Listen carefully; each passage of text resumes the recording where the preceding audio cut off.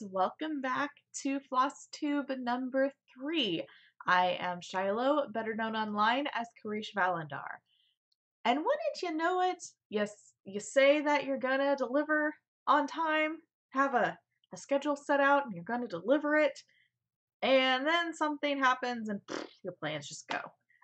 That's what happened to me this week. Um, I had plans of when I was going to make my videos and have enough time to edit them and stuff. And then I ended up getting sick for the first part of this week, and one of my kiddos got sick the last part of this week. So it's just kind of been chaotic, and I haven't had enough time to sit down and make a video and edit it. So unfortunately, this is a little bit late. But I did a lot of stitching this week, so I have a lot of fun things to show you. Um, so let me start with finishes. This is actually an older finish, but um, it's a present for someone, so I couldn't show it too early before, uh, but they should be receiving it very soon. Uh, all right, so this is called Carpe Diem by Ben Bromell. Uh, my lighting is absolutely horrible, but this is by Ben Brommel, and I believe this is on 16 count oatmeal. And this was the first time that I actually used the Etoile. Like, I bought it specifically for this project, and I don't know if I can get you to get it to show this. Nah, not really. Oh, no, there's a little bit. So the D20 is all sparkles, and eh, this is to be hard to show eh, you can kind of see it, but the handles, every pretty much everything on the swords at the bottom are done in the etoile as well. Um, everything, I change this pattern a lot actually, color wise. The designs are all the same, but the D20 um, I did in the purple etoile. I don't, 550 maybe. And um, I changed the color of this dragon. This was originally red. This was originally like a yellow dragon. So I changed that to green because I don't really like how the yellow fit. And I filled in, originally the pattern called for just leaving the numbers blank, but I went ahead and filled them in just so it kind of gave it a more even look. But yeah, I'm really happy with how this looked out. This really cemented my love for the Etoile line. Um, and I know my friend will absolutely love it. She's actually my DM for a Pathfinder. And if none of those words mean anything to you, that's fine. I know I'm a nerd. Um, so that was my one finish that I have to show you guys. Um, I had a couple of starts this week as well. Uh, one of these is actually a restart because I started it earlier in the year and then realized that the fabric I cut out was too small or it was going to be it wasn't going to have enough borders for me to do anything with and I was worried about it falling apart. Uh, so um, yeah I had to restart it. Fortunately I had more fabric in my stash that I could do it on so that made that nice and easy. Um, so this oh, of course it's very holy but um, this is Chalkboard Nativity by Fuzzy Fox Designs. I believe this is on 14 count Black Aida. I think it's 14 count. It seems pretty big. And this was my restart. And I have all of the words done. And then there's a lot of back stitching stars that go around here. And then on the bottom here is like the nativity um, Bethlehem scene, and it's a lot of backstitching left to do, but I actually don't mind backstitching. And hopefully it's not complicated. It doesn't look complicated. So hopefully that won't take me too long to finish. So I should, I should be able to get that done before Christmas, but we'll see because Christmas gets a little crazy around our house. I think we have four Christmases that we celebrate with all the family, so uh, and my other new start, which you've actually seen a completed one of this one, um, but I'm making this, the previous one was made for someone else. So I'm actually making this for myself. But this is, come on, focus, um, Christmas Goodies by Frosted Pumpkin Stitchery. And it's really hard to see, but this is actually a very light pink.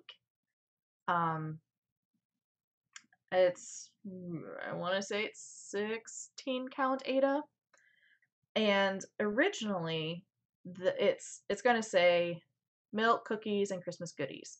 The milk is done in white, um, but that I found out with my last one that I did, it doesn't really show up on this color.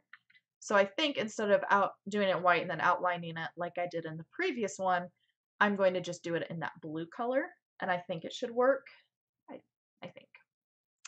So those were my two new starts. Um, onto my WIPs. My other WIPs, I guess, because those are still technically WIPs. Um, oops. All right, so first I have, oh, stop that. My Letters from Hogwarts, Stitch Your Own Adventure.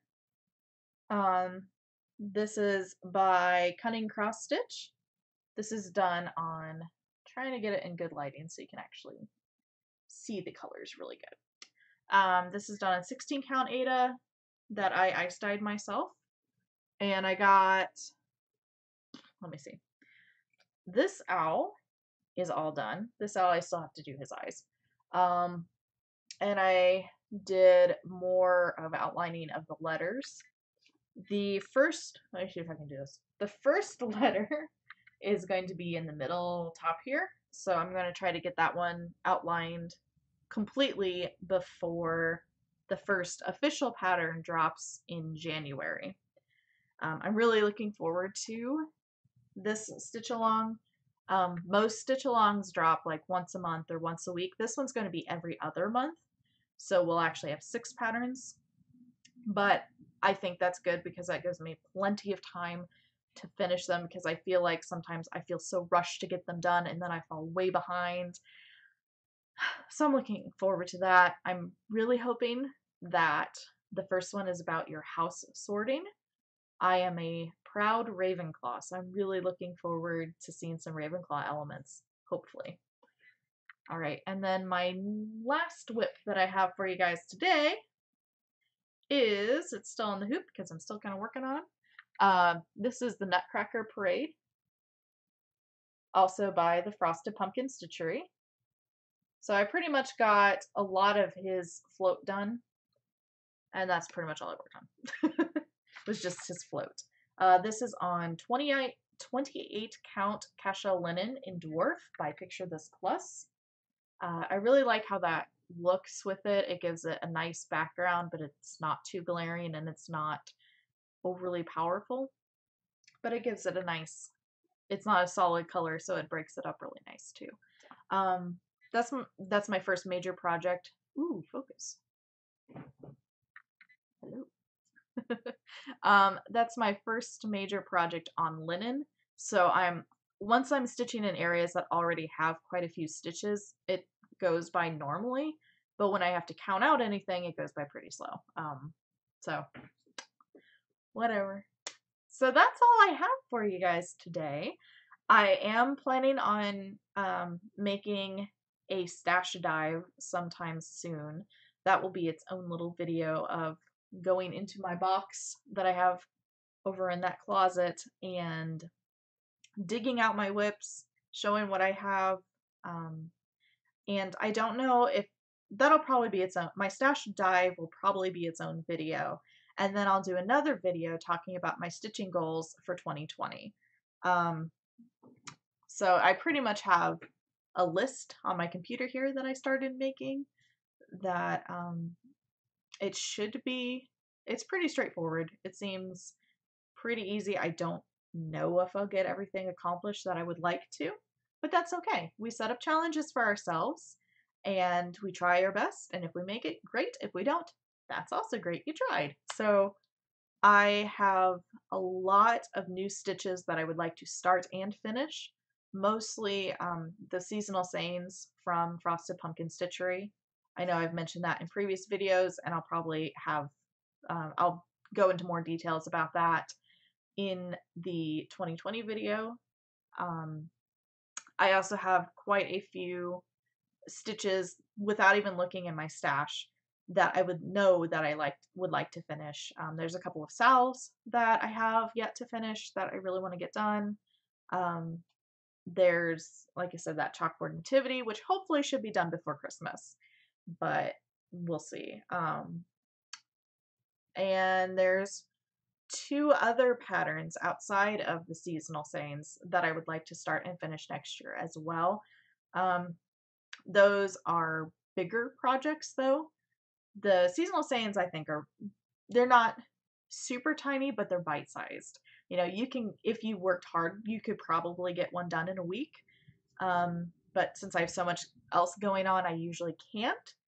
But it's not overwhelming. But then these last two projects, which I'll, again I'll show you in another video, look forward to it. Um, I they're they're quite a bit bigger, but they look really fun, and I'm really looking forward to sharing them with you guys. So I think that's all I have for you for this specific video. Again, sorry it was kind of late. Um, just sickness kind of swept into our house and affected everything timing wise. So hopefully next week I will be able to get you one on time. Yeah, because next week's not Christmas. So um, the week of Christmas might be a little more chaotic. We'll see. Maybe it'll be a short one, just giving you a happy holidays message or something. But thank you guys so much for watching. Uh, if you would like to follow me in my adventures, make sure you click subscribe um, and click that bell just so you get alerted when I upload new videos. I'm I am trying to upload a new video every week on Fridays, hopefully at 9 o'clock CST, US Central Time. Um, definitely either Fridays or Saturdays for sure. Um, and although I may have to skip a week or two depending on circumstances, but my goal is one video a week. So uh, make sure you get that subscription clicked, make sure you get that bell dinged, and uh, yeah, what WIPs have you been working on? Let me know down in the comments below uh, if you'd like to. Uh, but yeah, that's all I have for you guys today. So thank you so much, and I will see you next time. Bye!